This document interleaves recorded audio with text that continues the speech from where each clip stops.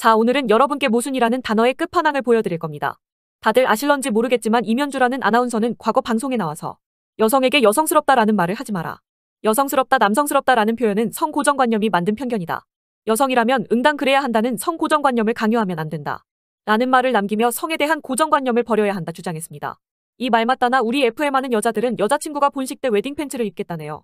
다다음 달 4월 결혼 예정인데 여자친구가 이상한 고집을 부립니다. 자기가 결혼식 날 웨딩드레스가 아닌 웨딩 팬츠를 입겠다는데 신부라고 무조건 드레스를 입어야 하냐고 정장 바지를 입겠다네요. 여자친구 남자를 싫어하지도 않고 평소에 별말이 없어서 페미 같지는 않아요. 라는 이 글에 대해서 우리 진짜 페미 하는 여성들은 신랑이 드레스를 입으면 될 일이다. 그렇게 드레스가 좋으면 남자가 입어라. 결혼식 드레스 불편한데 그걸 여자가 왜 입냐. 결혼식 바지 입으면 좀 멋있겠다 위풍당당 같이 었냐. 라고 말하며 우리 여성들은 진정한 페미라면 여성스러움을 강요받는 드레스를 입지 않고 바지를 입는다 말하죠. FM을 하는 여성들은 그 누구보다 여성스러움이라는 단어를 증오하고 싫어합니다. 하지만 그렇게나 여성스러움을 증오하던 이면주 아나운서는 본인 결혼식에서는 남자에게 남자다움을 강조하는 정장과 본인은 코르셋의 끝판왕인 드레스를 직접 입으셨고 수많은 사람들은 여성스러운 거 싫다면서 누구보다 여성스럽게 꾸미고 나오셨네요. 웨딩드레스야말로 전형적인 코르셋 아니었던가. 넥타이와 안경은 우째 분노.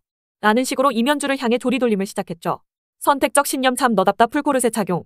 이 상황에 대해서 우리 여성들은 뭐라고 할까요? 본인들도 웨딩드레스가 아니라 웨딩바지를 입어야 한다 주장했던 여자들이니까. 이면주의 배신에 대해서 길길이 날뛰며 화를 내고 페미의 배신이다라고 말해야 하지 않겠습니까? 하지만 역시 모순이라는 단어의 정의가 한국 여자라는 걸 증명이라도 하듯 이면주 화이팅. 웨딩드레스가 성차별인 걸 알고는 있었나 보네. 서양인이랑 결혼해서 부들부들하는 건가? 라는 식으로 그녀들은 이면주의 쉴드를 치기 바쁜 모습을 보이고 있죠. 이면주는 자신의 171된 딸을 안고 생방송을 진행했고 수많은 여성들은 아기가 너무 귀엽다. 아기가 인형 같다. 아기 너무 귀엽다라는 말을 하면서 개같이 이면주를 응원하고 있죠. 아기를 사랑하는 모습을 보이는 우리 한국 여자들. 저 모습에도 모순이 존재한다는 거 혹시 알고 계신가요?